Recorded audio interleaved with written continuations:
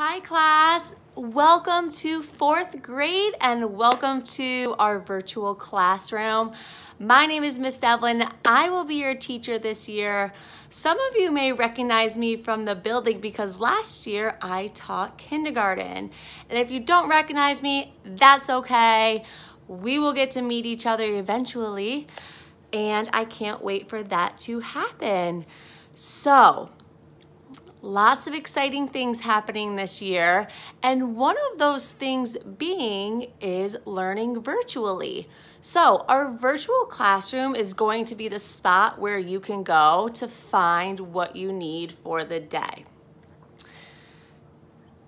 As you can see, I'm sitting at my house, but just like you, I have to get ready for the beginning of the school year.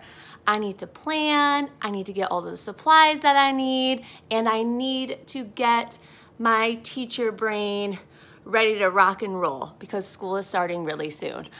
All right, you can click on other things on the bookshelf to learn more fun facts about me, and hopefully I will be able to see you soon. Bye.